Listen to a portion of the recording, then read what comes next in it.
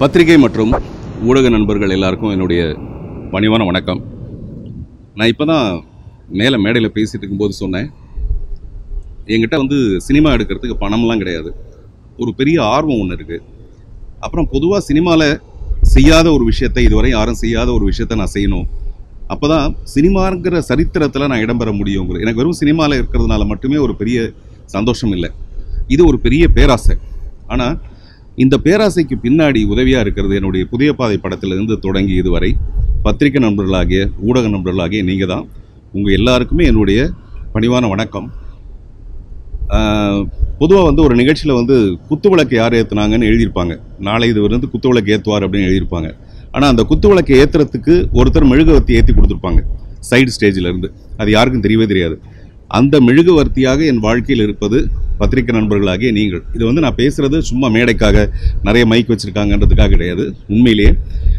அதே மாதிரி முதல்ல என்னுடைய அந்த சிங்கிள் ரிலீஸ் ஆனப்போ நீங்கள் கொடுத்த ஒத்துழைப்புக்கு என்னுடைய மனப்பூர்வமான நன்றி. அப்புறம் இந்த நிகழ்ச்சியில்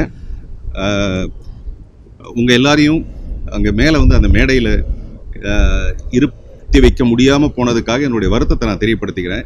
காரணம் என்னென்னா இது ஒரு தனியார் தொலைக்காட்சியில் இந்த படத்தோட இந்த நிகழ்ச்சி வந்து நம்ம காட்ட போகிறோம் அது வந்து முழுமையாக வெளியில் வந்துடக்கூடாதுங்கிறதுக்காக மட்டுமே உங்களோட இப்போ நான் தனிப்பட்ட முறையில் பேசுகிறதுக்கான ஒரு நிலை ஏற்பட்டிருக்கு. அதுக்காக நான் என்னுடைய மனப்பூர்வமான வருத்தம் தெரியப்படுத்துகிறேன்.